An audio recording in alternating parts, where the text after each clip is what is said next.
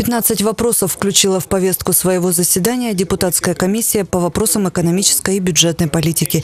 Первым рассмотрели отчет главы администрации округа Станислава Третьякова о работе в прошлом году.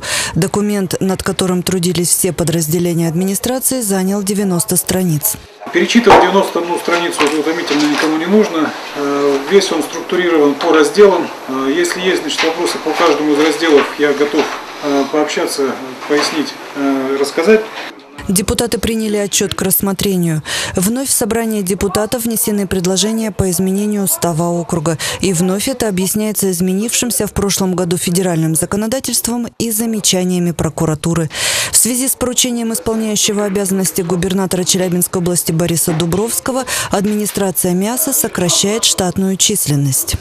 проведя ну, такой серьезный анализ, хотя нам это было очень сильно и жалко, значит, ну, был подготовлен вот такой проект решения, э, где мы меняем общий лимит численности с 254 э, до 246, это сокращение 6 единиц, в том числе муниципальные служащие 5 единиц, и три единицы – это работники, которые не занимают должности, не отнесенные к должностям муниципальной службы, выполняющие техническое обеспечение.